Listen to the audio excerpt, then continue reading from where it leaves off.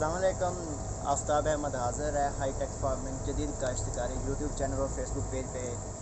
आप हमें देख सकते हैं। तो जैसा कि हमारे इस पहले लेक्चर में हम आज आपको हाइड्रोपोनिक यूनिट, जो एक ग्रीन टनल, एक पाकिस्तान में एक एवोल्यूशन आ रही है जिद्दत आ रही है काश्तकारी में। ग्रीन टनल, इसे ग्रीन टनल भी कहते हैं, ग्रीन हाउस भी कहते हैं, हाइड्रोपोनिक यूनिट भी कहते हैं। आज इसमें आप इधर इधर ये एक हमारा यूनिट लगा हुआ है हाइड्रोपोनिक यूनिट इसमें आप हर किस्म की काश्तकारी देख सकते हैं। लेकिन जो आज का लेक्चर है, हम उसमें हम आपको बताएँगे जो मेनली जो वर्क है ना टू की फैक्टर्स इस हाइड्रोपोनिक यूनिट में, उसमें होता है फ़ैन और पैड सिस्टम तो बेसिकली आज हम आपको फ़ैन और पैड सिस्टम के बारे में समझाएँगे।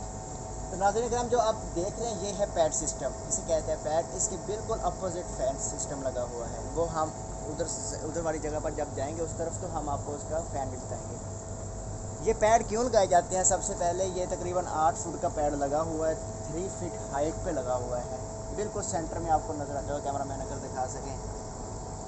बेसिकली इसके अदर साइड एक खला है गैप है शापर नहीं है। यानी कि जो पॉलीथीन कवरिंग की हुई है, इसके उस साइड पर नहीं है। लेकिन एक जाली लगी हुई है मैश लगी हुई है ब्रेक जाली वो बताता हूँ किसके लिए लगी है, उससे पहले हम पैर से बताते हैं, पैर क्या।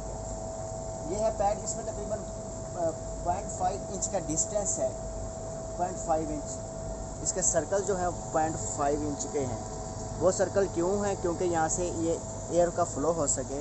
जो इधर गैप क्रिएट कर रहा है, उधर उस तरफ़ फ़ैन यहाँ पर गैप जो क्रिएट हो रहा है, वो एयर इधर से आ रही है।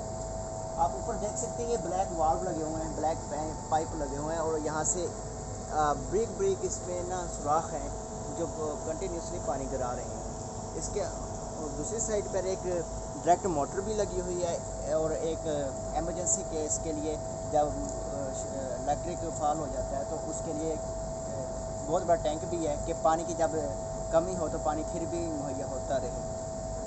एक बहुत बड़ा टैंक है अपोजिट साइड पर और उसे स्टोर कर लिया जाता है। दिन में तकरीबन दो टैंक लग जाते हैं जो इस यूनिट में है। लेकिन आप उसकी कैपेसिटी हर यूनिट अपनी रखता है। तो कोई हंड्रेड लीटर भी रखते हैं, पचास लीटर भी रखते हैं, उससे भी ज़्यादा रखते हैं। फिर जितना वो छोटा होगा, वो बार बार फिल करना पड़ेगा। तो पानी ऊपर से गिर रहा है और इससे वो नम रख रहा है। आप ये मेरे हाथ में नहीं कैमरा मैन अगर दिखा सकें। कितने फास्ट फ्लो से पानी ऊपर से गिर रहा है। बहुत तेज़ी से पानी आ रहा है। और इसका ड्रेनेज सिस्टम में पानी जो आ रहा है, वो नीचे जा ये खाली में जाकर बाहर चला जाता है फिर।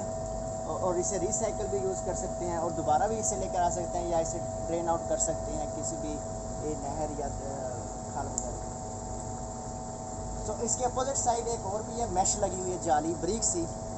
जो इंसेक्ट पेस्ट हैं, क्योंकि ये कंट्रोल सिस्टम होता है हाइजीन सिस्टम होता है, ना इंसेक्ट अंदर आ सके और ना पेस्ट अंदर आ सकते अपोजिट साइड पे एक ब्रिक मैश जाली लगी हुई है। तो इसे कहते हैं पैड सिस्टम ये कंटिन्यूसली भीगा रहता है।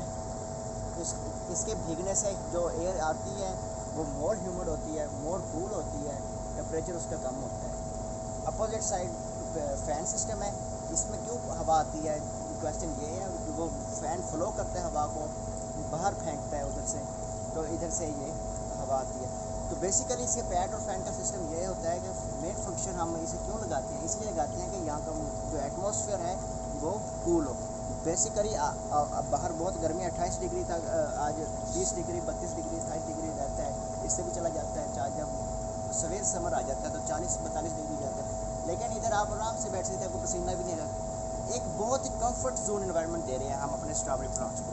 इसमें सक्सेस भी है जैसा कि यहाँ स्ट्रॉबेरी लगी है स्ट्रॉबेरी तकरीबन 25 टू 30 डिग्री इनफ 25 डिग्री पे रहे तो बहुत ही अच्छी ग्रो करती है, बहुत अच्छी जर्मिनेट करती है फ्रूटिंग अच्छी होती है पोलिनेशन हर चीज़ बहुत अच्छी होती है। लेकिन इसे जो जहाँ हम खड़े हैं, सियालकोट में, पंजाब में आपको पता है कि चला जाता है चालीस तक भी जाता है, पैंतालीस तक भी जाता है तो बहुत सवेर समर आ जाते हैं। तो ये तो डाई कर दें अगर ये बाहर हो। लेकिन हम यहाँ बम्पर क्रॉप लेते हैं। क्यों लेते हैं?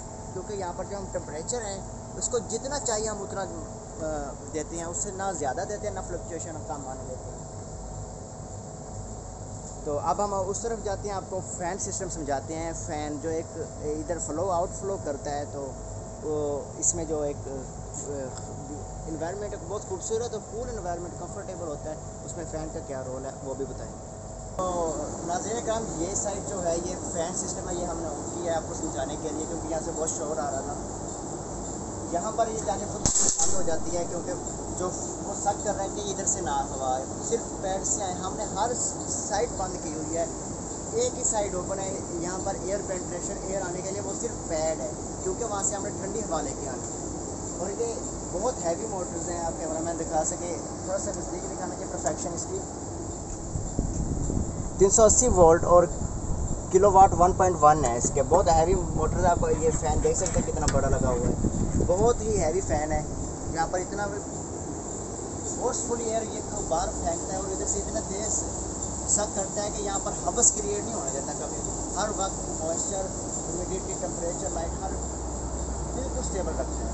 तो हम चलता हुआ आपको दिखा देते हैं। ये फ़ैन और ये फ़ैन चल रहा है। हम इधर खड़े होकर देख रहे थे बहुत ही तेज़ी से खींच रहे हैं अब देख रहे हो मेरे कपड़े। बहुत ही प्रेशर से हवा ये खींच रहा है इधर से। और इधर से इसका स्विच लगे हुए हैं। ये जैसे ही ऑफ़ जैसे ही ऑफ़ होगा, ये खुद ब खुद ऑटोमेटिक बंद होता जा रहा है, ये देखें।